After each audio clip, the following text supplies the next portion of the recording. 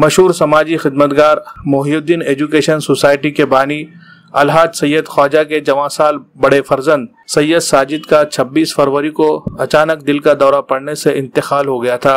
मरहूम Syed Sajid, ward number तेरह के सबक नुमाइंदा कारपोरेटर एडवोकेट सैयद वाजिद के बड़े भाई थे। आज सबक वज़ीर डी पी सावन सबक डिप्टी मेयर अब्दुल गफ्फार, नागनाथ गड्डम, पप्पू पावड़े व दीगर कांग्रेसी खाजिन ने इनके घर पहुंचकर उनके अफराद खाना से मुलाकात की और उन्हें पुरसा दिया। सैयद साजिद के अचानक इस तरह से इंतकाल होने पर अफसोस का इजहार किया। पसमानदगान को सब्र तहमुल से काम लेने की नसीहत की।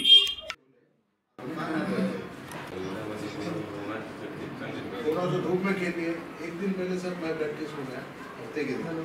खेलेंगे चार बजे पाँच बजे के सामने गन्ने का रस पिया घंटा इतनी धूप है। अब ये लोग बोले